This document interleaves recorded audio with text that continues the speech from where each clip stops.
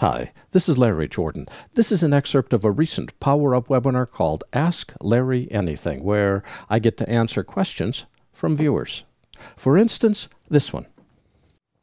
Another question. Rob Hargreaves asks this. He says, Can I run through the best workflow to keep all media connected when moving events and projects between editors in different locations? Is it better to copy files to the Final Cut Pro 10 folder on import or link them in a separate folder? This is really simple. This isn't small files, but it's really simple. Let me show you. I store all of my events and all of my projects for Final Cut Pro 10 on my second drive. Events are stored inside a folder called Final Cut Events, and projects are stored in a folder called Final Cut Projects. In order for an event, meaning media, or a project, meaning how that media is edited, to be viewed by Final Cut, it must be stored in the Final Cut Events or Final Cut Projects folder. So if I want to move media from one computer to another or one editor to another, I need to move the entire folder that contains that media. This is the name of your events inside Final Cut, and all events are always stored, always stored in your Final Cut Events folder. This is the name of all the projects that I'm working on currently inside Final Cut. And those projects have multiple components, but all those components are stored inside a single folder, and that's the name of your project inside Final Cut. So if I want to move events, I simply copy the entire folder from computer 1 to computer 2, making sure to always put events inside the Final Cut Events folder, making sure to always put projects inside the Final Cut Projects folder. As long as you're moving the entire folder that contains the project or the entire folder that contains the video, you're not going to have any problems. The problem occurs is if you only copy a part of the folder, then the database that, that's inside that folder may or may not be updated, and you're going to have stuff break. The second problem, and the bigger problem, is that Final Cut 10 is not currently designed to have multiple people in the same project at the same time.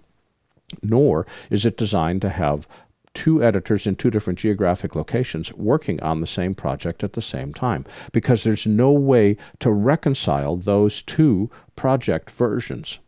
So if you're going to say multiple editor, editors are working inside Final Cut Pro, the way that you have to do it is you have to have one editor working in the project, get out of the project, quit it, quit Final Cut, move the project over to a different editor, have that editor opened up, because as soon as you start to have two editors inside the same project file at the same time, even at two different geographic locations, you're not going to be able to, to reconcile those changes. Is there a way in Final Cut Pro 10 to save a project and collect the video and audio files in uh, yeah, what you do, it's yeah, absolutely. Can in other words, can we can we collect everything into a single folder? The answer is yes. I'll show you how. So let's say, just hypothetically, that I want to collect this music video. Right mouse click on the project name in the project library, and notice it says duplicate project.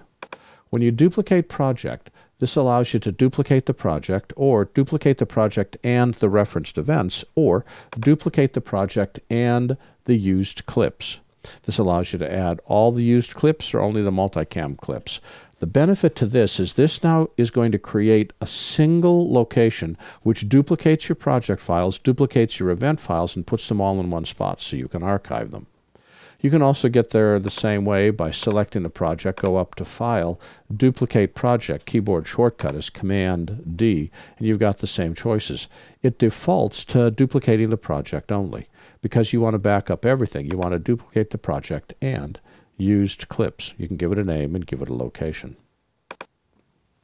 If you know you're going to be sharing media between two editors, then you want to make sure that that media is stored inside the Final Cut Events folder and not pointed to different folders. Because as soon as you point to different folders, when you copy the event folder, the links are going to point to the folder on System 1 and that will never have the same path name as the links to the same folder on System 2, because the hard disks will probably be named different, and the source disk is probably named different. So if you need to move video or media between two different editors, copy it into the Final Cut Events folder and then copy that folder back and forth. Now that media file is going to be really big. This is probably going to work the best when you're not constantly adding media because then you're going to be constantly having to copy all those files across. My feeling is have one editor be responsible for the project until all the media has been ingested, then copy that media folder over and give it to the second editor things get really, really complex when you try to have multiple people trying to work on the same files at the same time. Final Cut right now is designed to be one editor working at the project at once. Robert, can you run through the best workflow to keep all media connected when moving events projects between editors in different locations? Yeah, we talked about that a little bit earlier. So here's the short answer. When you're working with Final Cut 10, all of your events are stored inside the Final Cut Events folder in a folder named after your event. All of your projects are stored inside the Final Cut Projects folder in a folder named after your project. If you're moving events between editors, you need to move the entire events folder, which can be really, really big. If you're moving projects between editors, you not only need to move the project folder, the entire folder, not just the material inside it, but move the entire folder named exactly as it is, but you also need to move any events that are feeding media into that project. You need to move them both.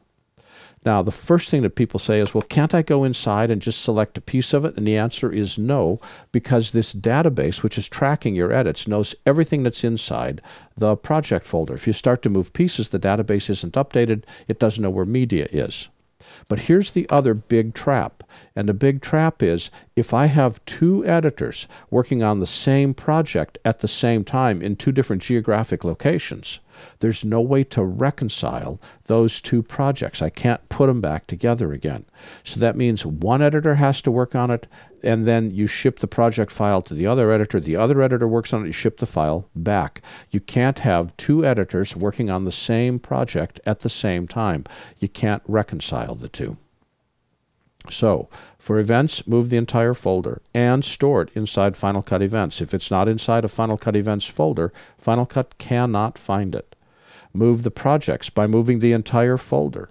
If you don't move the entire folder and if you don't store it inside Final Cut Projects, Final Cut Pro 10 won't be able to find the file.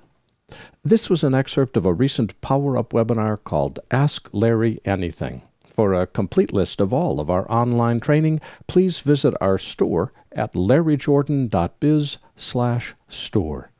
Oh, by the way, membership is a great value. If you need to stretch your training dollars, a subscription membership to our video training library saves you money. You can access all of our videos for a low monthly price of only $19.99. That's more than 500 movies, dozens of hours of training, all in depth and up to date. Plus, members can attend all of our Power Up webinars for free. Our training covers Apple and Adobe software. We update it every week. And for more information, visit larryjordan.biz slash subscriptions. Thanks.